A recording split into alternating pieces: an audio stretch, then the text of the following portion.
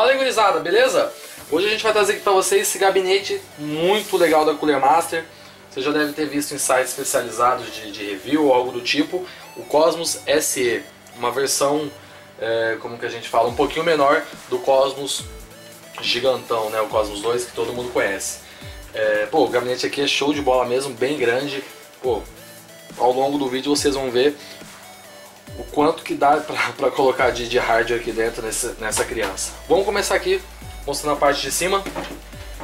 Painel frontal dele já está escrito Cosmos aqui, identificando o monstrinho. Aqui os botões Power, o LEDzão aqui do lado, Reset e para ligar e desligar o LED dos fãs aqui da frente. Vocês estão vendo aqui o Cosmos, bem legal. Agora mostrar para vocês aqui a parte de cima, bem legal mesmo com essas alças aqui para carregar. Lembrando, pessoal, que essa alça aqui é para carregar mesmo, viu? Ela é feita de, de metal, pô. Para aguentar, você pode encher aqui o Cosmos de, de, de, periférico, de, de hardware, que ele aguenta o peso tranquilo para você carregar para sua pra lâmpada, fazer na casa dos amigos, para mesmo carregar dentro de casa. Então, voltando aqui para o painel da frente, vocês estão vendo que já está até aqui nomeado USB 2.0, duas entradas, microfone e fone de ouvido, que já é o padrão nos gabinetes, e mais duas 3.0 também escrito aqui, identificando ela.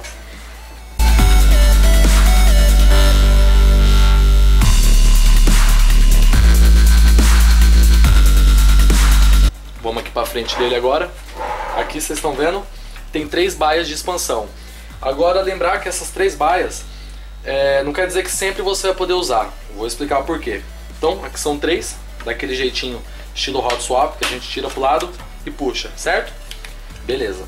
Aqui embaixo ele já vem com dois fãs de 12 centímetros já com LED azul. Bem bonito, vai dar um acabamento que é gamer, né? Pô, o gabinete é gamer, nada como um cooler com LEDzão para ficar ainda mais bonito. Aquele acabamento de colmeia, né? Estilo mesh da Cooler Master, que vocês estão acostumados, todos os gabinetes, independente de preço, do mais simplesinho ao mais top tem. Escrito Cooler Master aqui, então, isso aqui é a frente dele, né? Dá pra ver como ele é bem bonito. Agora voltando às baias, no jeito padrão dele, ele já tá com os dois fãs aqui. Então a gente vai tirar tudo aqui pra vocês verem, olha aqui. Ele já tá batendo aqui. Então essa, essa terceira baia de cima pra baixo é realmente para esconder o fã aqui, para esconder o detalhe. Então baia que você vai usar são duas, as duas de cima. Para quê? Para CD-ROM, controlador de fã, fica a cargo de vocês. Mais aqui na frente dele, a gente pode tirar os dois fãs para a turma aí do, do, do water cooler que gosta, do water cooler customizado. Você pode colocar um radiador aqui de 240, certo? Usando dois fãs. Ou um radiador triplo aqui de 360. Mais para frente, quando eu mostrar a parte de dentro, eu mostro certinho para vocês. E é isso, pessoal. Então aqui, a frente do, do Cosmos SE, bem legal mesmo. As baias aqui para proteger esse último detalhe do fã. É fácil colocar também, você vem, opa, você vem empurra aqui do ladinho, aqui ó, empurrou, travou, tranquilinho. Deixa eu botar o último, certinho.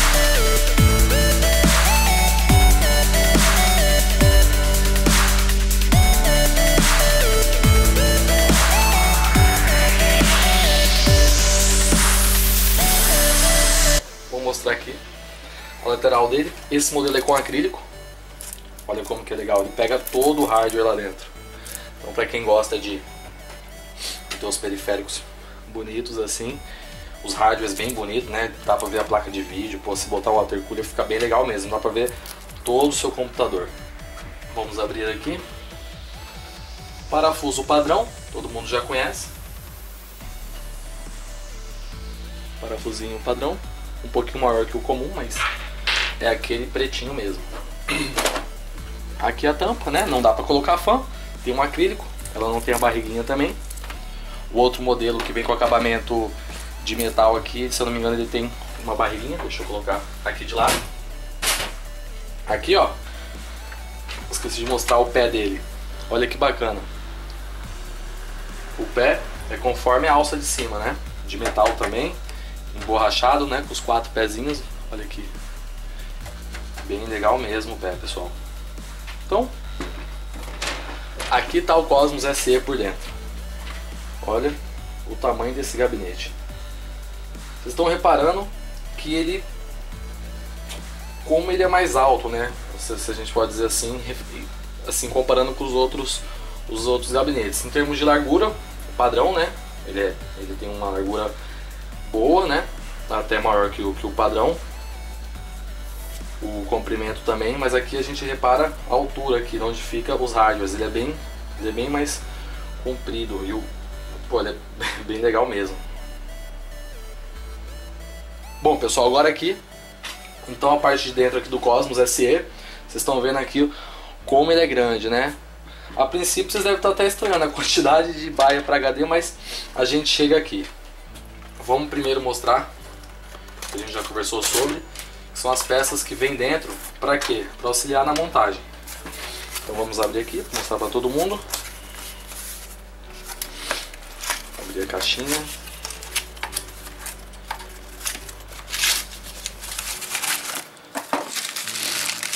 Bem, pessoal, aqui os enforca-gatos, o buzzerzinho da placa-mãe para fazer o som, todos os parafusos que vai precisar para colocar a placa-mãe, para instalar fãs auxiliares, tá no saquinho. E esse negócio aqui de metal, pessoal, no começo do vídeo eu falei de colocar radiador na frente, você vai usar isso aqui para prender lá na frente, né? Não vou precisar de entrar em muitos detalhes, né? Que é um sistema customizado e praticamente ninguém faz o uso, né? Os selados já já estão de bom tamanho, bom tamanho para o padrão de uso do, da galera. Os fios aqui, todos pretos, né? Para ficar mais bonito. Deixa eu tirar aqui sem problema nenhum. O pessoal já tem muita curiosidade no que são os fios. Deixa eu pegar aqui o dessa como um gabinete padrão alto, né, como a gente pode falar assim, os fios para ligar o botão power, o reset, o HD LED, o reset, o, o power LED são todos pretos, né, para ficar bonita a instalação. Esse aqui, pessoal, é o do adaptador USB 3.0 lá do painel que a gente mostrou na frente. Esse aqui é o do áudio, certo? Do microfone, para fazer funcionar o painel. Isso aqui é uma extensão, tá? E esse é das duas USBs lá do painel frontal também. Esses outros fãs aqui, oh, desculpa, esses outros adaptadores aqui são adaptadores moleques, para quê? Para fazer a ligação daqueles fãs que eu mostrei lá na frente, os dois fãs de 12 centímetros com LED azul. Deixa eu prender aqui para não ficar feio, esse emaranhado de fio. Vamos lá, rapidinho. Certo. Então, continuando aqui dentro, Vem outro fã de 12 aqui atrás. Fãzinho de 12 centímetros. Sem LED esse aqui, pessoal. Então vamos lá. Vamos começar aqui na parte de baixo. Fã, a fonte, aqui não vai ter problema. Qualquer fonte cabe. Desde a de 400 watts até uma fonte de 1200 sem nenhum problema. Ou até maior, se existir. Por dois detalhes. Aqui já tem um espaço para ela. E aqui atrás uma novidade no Cosmos, que isso aqui começou a vir a primeira vez no RAF XB, aquele cubo, que a fonte ela vai ficar um pouquinho para fora. E eles colocaram esse ferro aqui para dar o detalhe. Então vocês reparam, ele fica um pouquinho para fora. Então na hora de colocar a fonte, a gente tira esses quatro parafusos, encaixa a fonte. Sua fonte muito grandona, que ela vai precisar de mais espaço, vai sempre caber certinho, porque ela vai ficar sempre com essa folguinha aqui para fora. Ao invés de ficar para dentro, ocupando mais espaço, ela vai ocupar mais para um espaço maior para a parte de fora do gabinete, que não tem uso, certo? Então essa moldurinha para ficar mais bonito e para poder encaixar a fonte certinha. Aqui embaixo na fonte, né, os pezinhos de borracha para segurar a fonte, para não arranhar, para não ter nenhum problema. Já é um padrão também nos gabinetes de todas as marcas. Aqui tem um filtro que a gente tira por baixo para limpar, ele vai segurar a sujeira. Aqui na frente tem outro filtro. Aqui, pessoal, as baias de expansões. Tem uma, duas, três, quatro, cinco, seis, sete. Padrãozinho, né? Então dá para fazer um Crossfire, o seu SLI tranquilamente, sem nenhum problema. E aqui fica a placa-mãe. Os, os espaços para passar os cabos, vocês estão vendo que tem um monte. Aqui tem um monte aqui. Tem esses aqui emborrachados, né? A gente já esconde o cabo da fonte. Então aqui o cable management não vai ser problema. Aqui já é show de bola. Aqui em cima, pessoal, tem outro fã. Um fã de 14 centímetros. Bem legal também. Certo.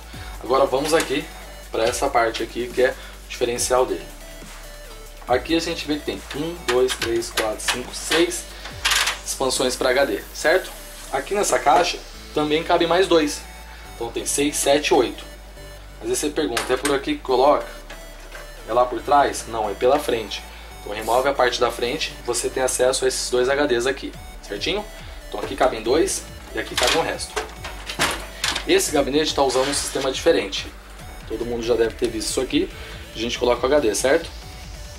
Nos sistemas normais, até mesmo da Cooler Master, o que o pessoal tinha que fazer? Tinha que pegar o HD, ir lá e pressionar pá, encaixava. Nesse aqui não, para ficar um trem mais, mais chique. Você vem aqui, ó, aperta esse botãozinho e aumenta, ó. Aumenta a largura. Então você vem aqui, like a boss, e coloca o seu HD. Deixa eu botar aqui, ó, expandir. Então o HD tem os parafusos, tá vendo pessoal? Tive entrava aqui, Vamos ver se eu não fiz errado. Ó, pronto, apertou. Tá travadinho, bonitinho. Aqui. Bom, pessoal, entrou aqui encaixado o HD. Bonitinho, a gente vem, encaixa. Entra aqui no lugar certinho. Travou. Dá até pra ver o clique. Tá aqui, ó, presinho, ó. Não solta. Quer soltar? Tira. Então vou deixar aqui o HD para ilustrar, para ficar melhor. E o SSD? Cabe o SSD. Vocês repararam que tem essa perninha aqui e aqui tem os buraquinhos. Então a gente pode colocar dois SD, SSDs por slot. Por, por, por... Olha aqui, ó. Você vem aqui. Encaixa aqui embaixo. Pera aí que eu sempre apanho para colocar aqui. Deixa eu botar para não arranhar. Ó. Tá vendo? Fica bonitinho. Então a gente vem aqui, ó. Você mede certinho parafusa ele para não soltar e pode colocar até outro aqui, tá vendo? Primeiro coloca aqui, parafusa do outro lado, vem encaixa o segundo. Você pode fazer desse jeito sem problema algum. Vai lá também e encaixa. E fica, vocês estão vendo aqui, ó, o SSD tá aqui escondidinho e o HD aqui. Certinho? Então, essas são as baias de expansão de HD. Aqui em cima, lembrando, as duas de para CD-ROM, controlador de fan, você que decide o que vai ser colocado aqui. Isso aqui também dá para remover, pessoal? A gente pode tirar aqui sem nenhum problema. Você pode remover essa parte aqui, aqui os parafusos, sem nenhum problema. Então, mostrei aqui dentro. Agora vamos aqui para a parte de trás, padrãozinho. A fonte já falei, tem essa barriguinha agora para dar o detalhe e faz com que caiba qualquer tamanho de fonte. As baias de expansão. Aqui, muita gente pergunta essas borrachinhas para que que é? Para passar os canos, né, de, de um sistema de water cooler customizado. Aqui uma outra baia de expansão. Você faz uso dela como quiser, né? Hoje, hoje existem extensores até para placa de vídeo, se quiser dar louca pode deixar ela aqui de lado, não sei. Aqui onde fica o espelho da placa mãe, né? Padrãozinho todo mundo sabe. Esse parafuso aqui a gente solta e solta essa tampa superior. Para quê? Para ficar fácil o acesso da limpeza e a troca dos coolers, né? E a instalação de um water cooler, pessoal.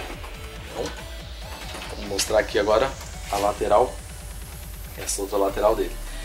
A barriguinha aqui, para ficar top o cable management. Barriguinha toda estilizada aqui, ó, show de bola. Bem gamer mesmo parafusinho, padrãozinho mais uma vez. Deixa eu tirar aqui. Vou botar aqui embaixo, do lado da outra. E eis a traseira dele, com todo respeito. Quer dizer, lateral. As baias de HDs. Agora aqui é o HD que eu deixei lá na frente, ele está aqui atrás. Outra coisa legal, pessoal, cabe um SSD aqui e aqui. Eles vão ficar virados para cá. Deixa eu pegar o SSD aqui da frente para ilustrar para vocês. Fica bem bonito. Olha aqui. Vou colocar ele aqui assim. Ó, olha como que ele fica. Fica bem legal, né? Cabe um aqui e outro aqui em cima. Já perceberam que nesse gabinete não vai ser problema para HD, o problema vai ser dinheiro para encher, porque daqui não tem problema para você colocar o seu HD, o seu SSD tranquilinho. Então aqui a parte de trás, padrão, vocês estão vendo que ele é bem largo. Olha a distância que ele tem do painel onde é preso aqui, ó.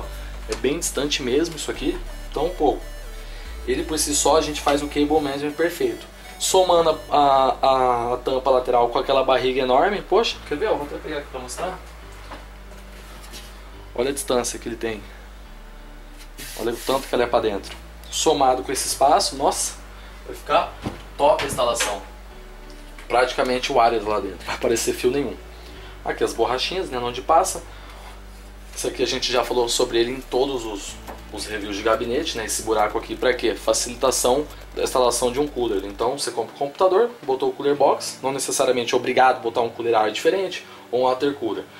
Ah, juntou dinheiro, vai colocar um water cooler, um cooler ar diferente, um cooler ar melhor que o padrão da Intel ou da AMD. Você vem aqui e tem um acesso fácil à instalação. Não vai ter que desmontar a placa-mãe, tirar a placa de vídeo, não, não, não. Você vem aqui, abriu, papã, tirou, arruma bonitinho. Vocês estão vendo aqui mais espaços para para a gente fazer o cable management, né? Esses, esses, esses ferrinhos aqui estão aqui de propósito, né? Para a gente passar o, isso aqui que eu chamo de enforca gato, cada um chama de alguma coisa diferente, esses pretinhos. Para quê? Para passar os fios tudo bonitinho, prender e ficar show de bola. Então é isso, pessoal. Esse aqui é o Cosmos SE da Cooler Master. Se gostou, dá um like favorita que ajuda bastante a gente a divulgar o canal, o nosso trabalho. E deixe, deixe seus comentários aqui na, na descrição do vídeo, algum, alguma, alguma dica, alguma coisa para a gente melhorar. A gente está sempre tentando fazer o melhor. Então, acesse o nosso site, está tudo aqui na descrição. Qualquer dúvida, entre em contato por telefone, por, por e-mail, sinal de fumaça, qualquer coisa que a gente responde, beleza? Um abraço para todo mundo aí, valeu, tchau, tchau!